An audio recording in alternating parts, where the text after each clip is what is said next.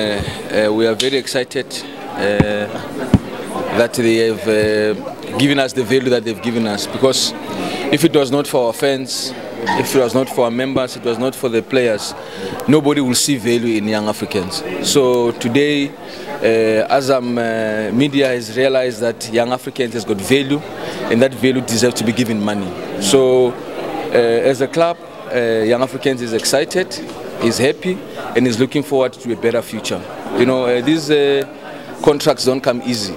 You know, uh, without broadcast, even your product cannot go to the world. Without broadcast, even somebody who's in the villages cannot see what uh, is happening in the city. So we are appreciative of what uh, um, Azam has done to see the value in, uh, in young Africans and to, to, to sign the contract of, of, of 10 years. I know that uh, somebody asked in this uh, press conference, but why 10 years?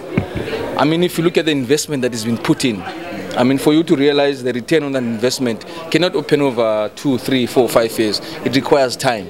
And also, if you look at the contract duration of uh, TFF versus uh, uh, uh, Azam, it was announced to be 10 years. So it only makes sense that these things must be run parallel so to ensure that football in general benefits and football in, general grows as, uh, as, as, as partners with broadcast. I've always said one of the biggest uh, revenue uh, injection that any club or any sporting body can get is broadcast rights. So I'm excited for young Africans. I'm excited for everybody involved.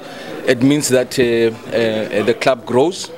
It means that club can uh, uh, uh, attract more uh, in terms of quality uh, players. You know, as a club, along with your sponsors, we can get a certain number of quality players. But now with this injection of money, that means we can even go better.